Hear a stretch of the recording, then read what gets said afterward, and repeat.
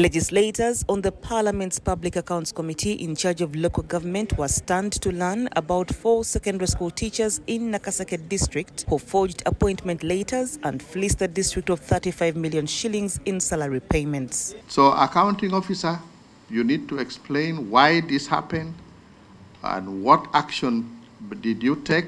On before Nakaseke putting these people onto the payroll, we took an initiative of consulting the author of the appointment letters, the Minister of Education.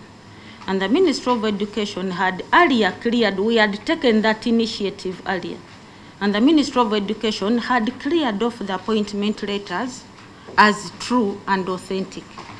That is when we put them on the payroll. The four fake secondary school teachers whose names have been disclosed as Yovan Maganda, Dixon Chikonyogo, Jackson Serada, and Samuel Hakiza were discovered by the Auditor General during the audit of the financial year that ended June 2022 after they had spent 10 years on the payroll, meaning they illegally earned much more than 35 million shillings, which they were paid in the year under audit. Very people are still on the list, rather on the payroll.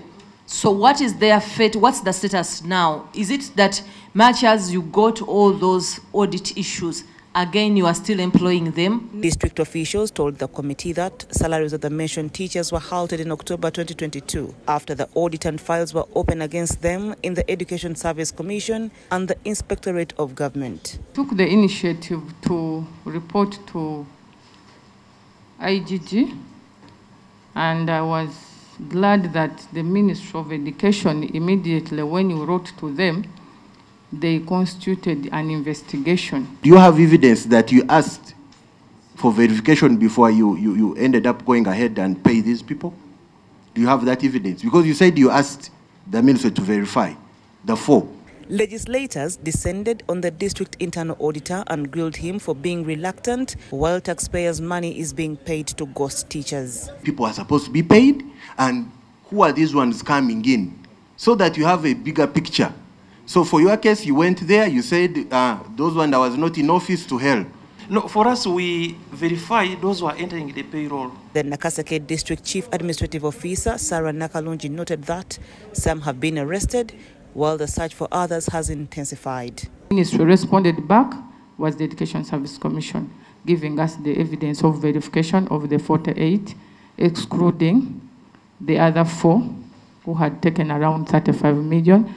For the status, we have actually deleted them on the payroll. Some are on the run, some were arrested, that's what I was told. After discovering the query of ghost teachers in several local governments, committee members want to widen the scope of probe to the Ministry of Education to weed out others. The ghost teachers are all over the country. Mm.